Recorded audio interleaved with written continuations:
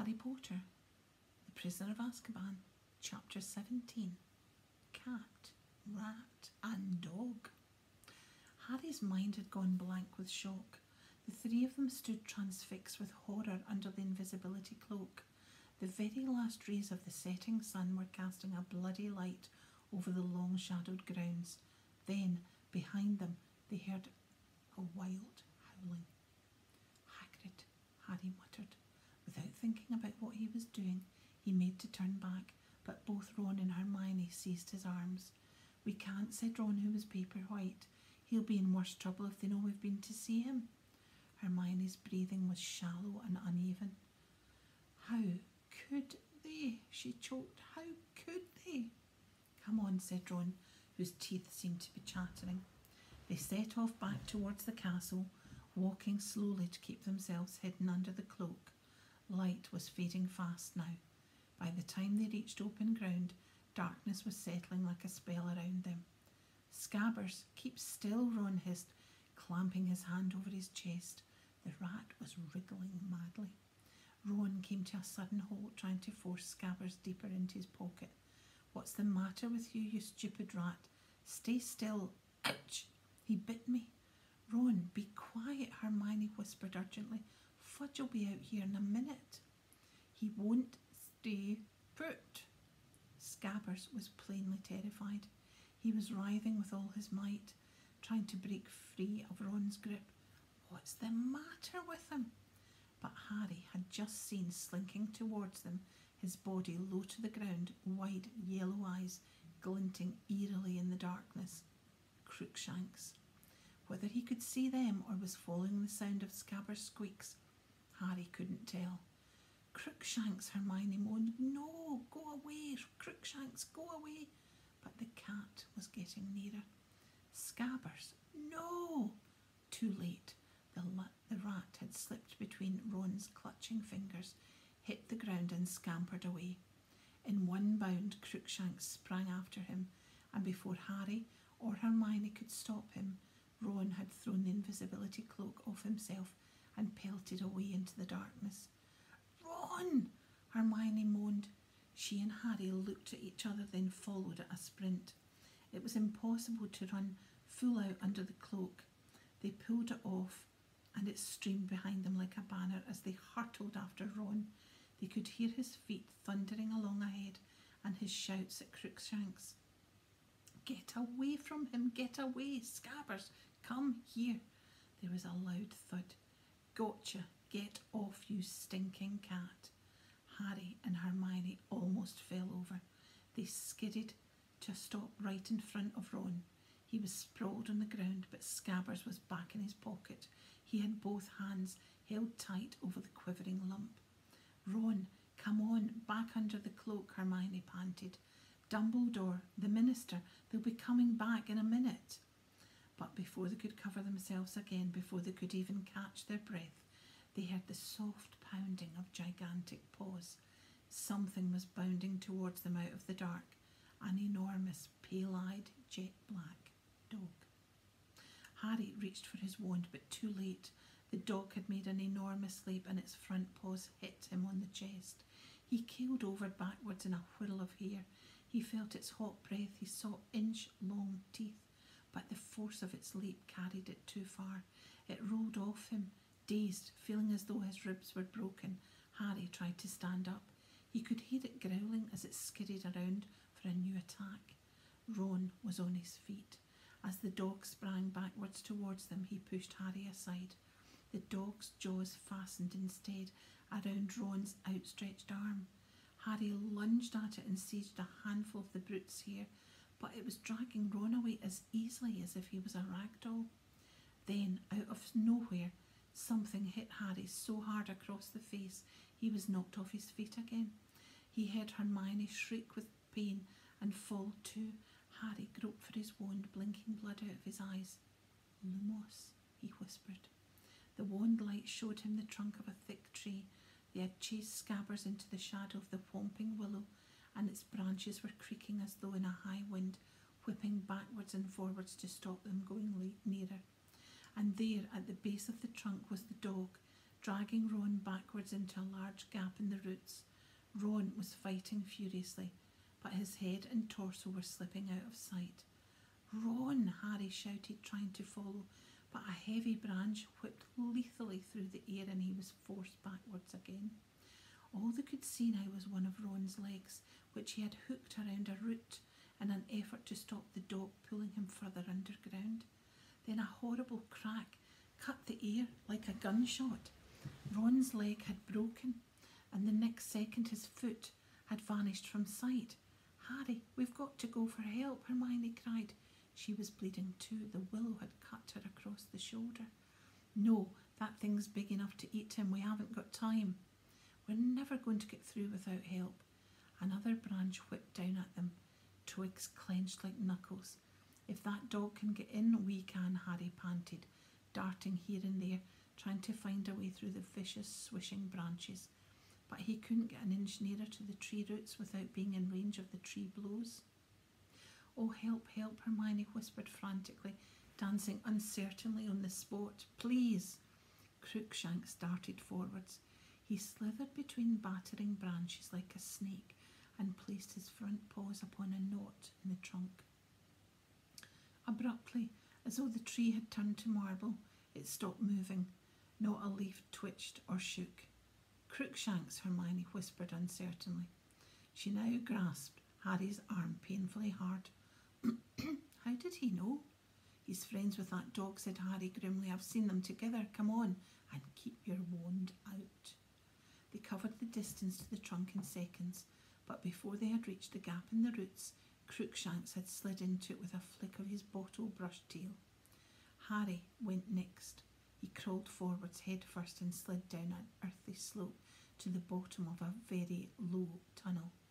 Crookshanks was a little way along, his eyes flashing in the light from Harry's wands. wand. Seconds later, Hermione slithered down beside him. Where's Ron? she whispered in a terrified voice. This way, said Harry, setting off back, back, bent back after Sh- Crookshanks. Where does this tunnel come out? Hermione asked breathlessly from behind him. I don't know, it's marked on the Marauder's map, but Fred and George said no one's ever got into it. It goes off the edge of the map, but it looks like it ends up in Hogsmeade. They moved as fast as they could, bent almost double. Ahead of them, Crookshank's tail bobbed in and out of view. On and on went the passage. It felt at least as long as the one to Honeydukes.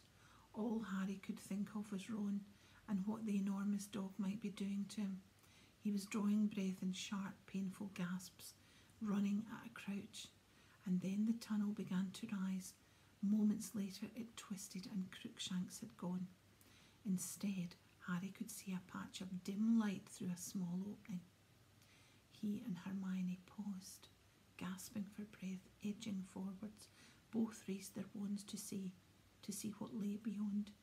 It was a room, a very disordered, dusty room. Paper was peeling from the walls. There were stains all over the floor.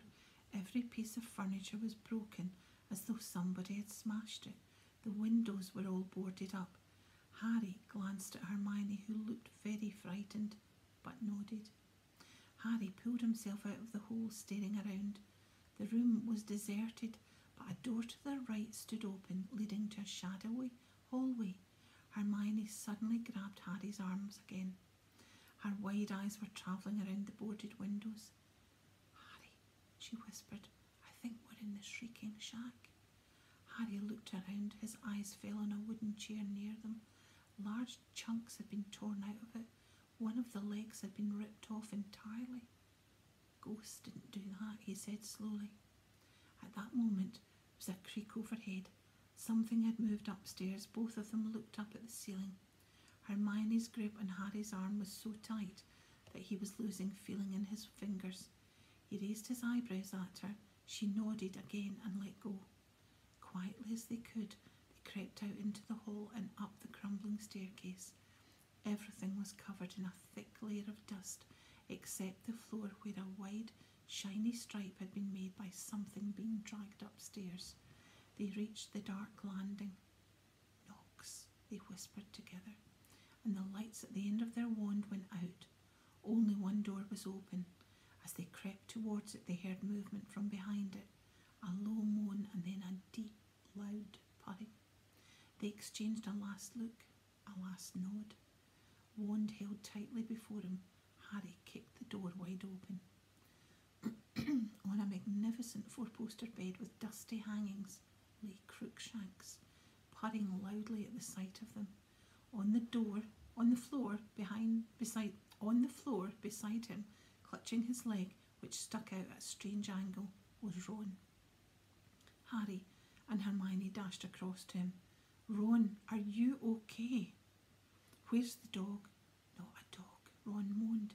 His teeth were gritted with pain. Harry, it's a trap. What? It's the dog. He's an Animagus. Ron was staring over Harry's shoulder. Harry wheeled around with a snap. The man in the shadows closed the door behind them.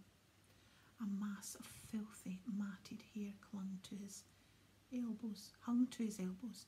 If eyes hadn't been shining out of the deep dark sockets, he might have been a corpse. The waxy skin was stretched so tightly over the bones of his face it looked like a skull. His yellow teeth were bared in a grin. It was Sirius Black.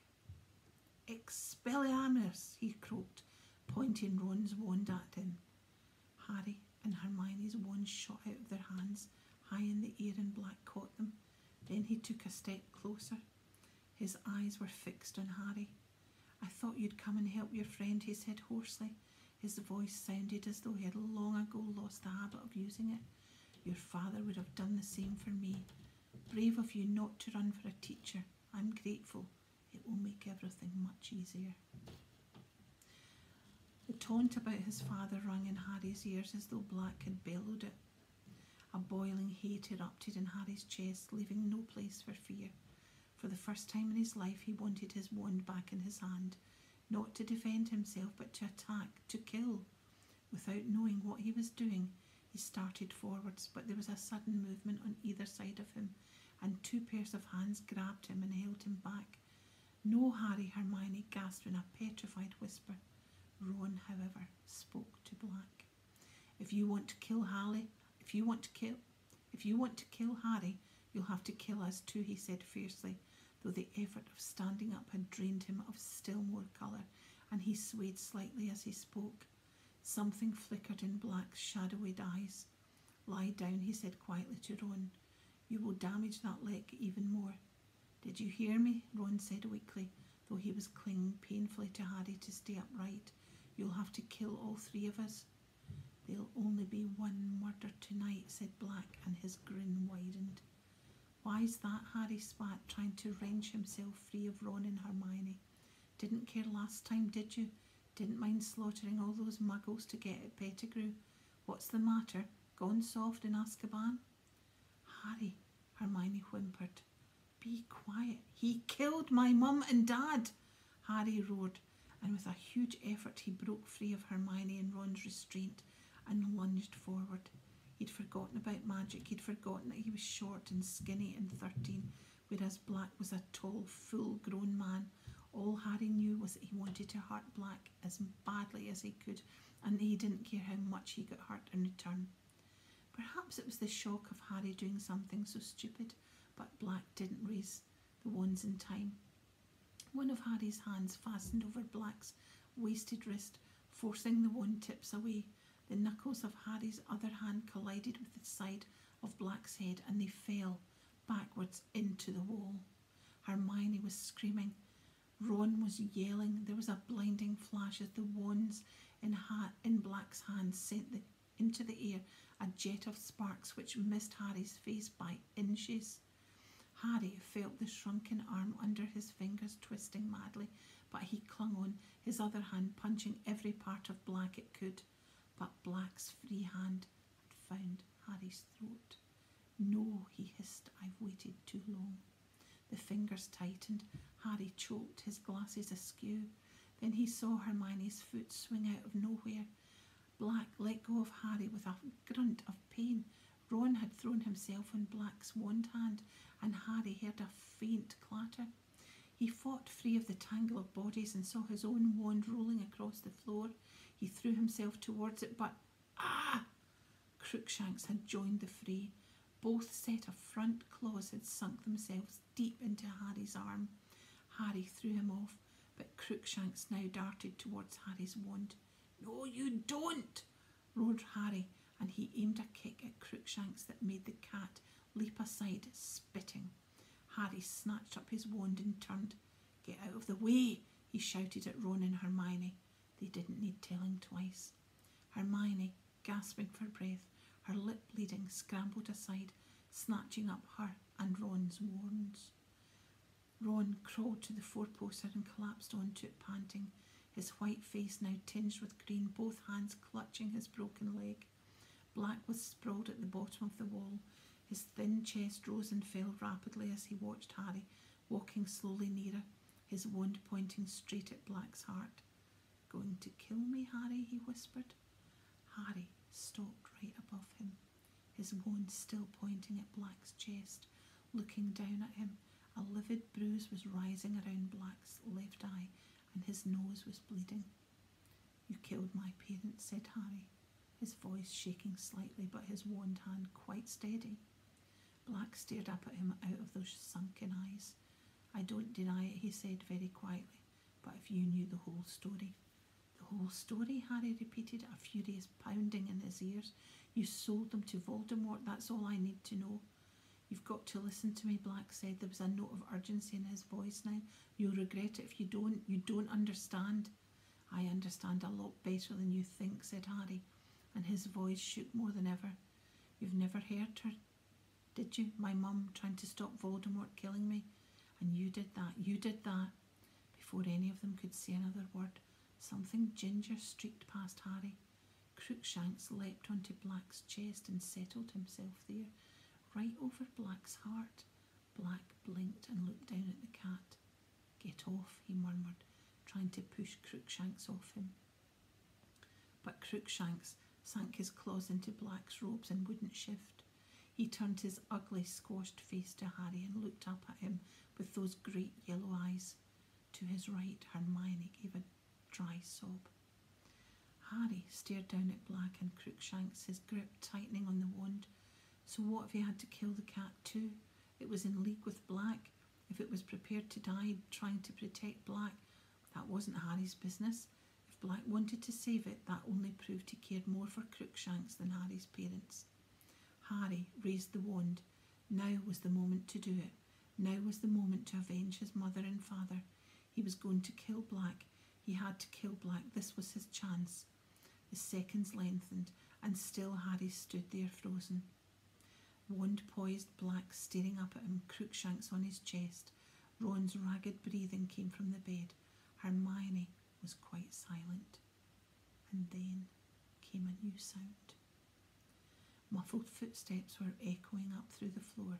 Some was, someone was moving downstairs. We're up here! Hermione screamed suddenly. We're up here! Sirius Black! Quick! Black made a startled movement that almost dislodged Crookshanks. Harry gripped his wand convulsively. Do it now, said a voice in his head, but the footsteps were thundering up the stairs and Harry still hadn't done it. The door of the room burst open, a shower of red sparks, and Harry wheeled around as Professor Lupin came hurtling into the room, his face bloodless, his hand, his wand raised and ready. His eyes flickered over Ron lying on the floor, over Hermione cowering next to the door, to Harry standing there with his wand covering Black, and then to Black himself, crumpled and bleeding at Harry's feet. Expelliarmus! Lupin shouted.